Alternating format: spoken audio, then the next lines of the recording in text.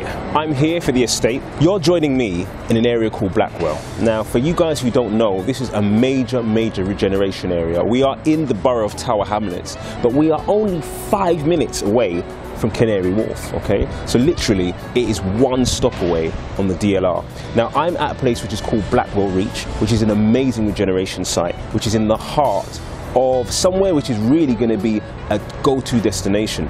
Now, for those of you who are interested in buying an investment type of property where there's a little bit of growth, this is probably one of the locations that you really need to consider.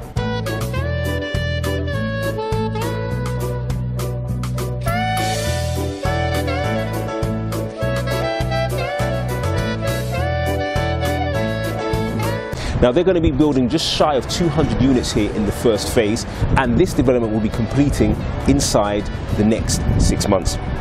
So look, without me talking too much, you've got three different phases that are going to be happening and this is going to be built out over the next four to five years. So if you can get in early at this time, it's probably a definite, definite winner for your investment portfolio.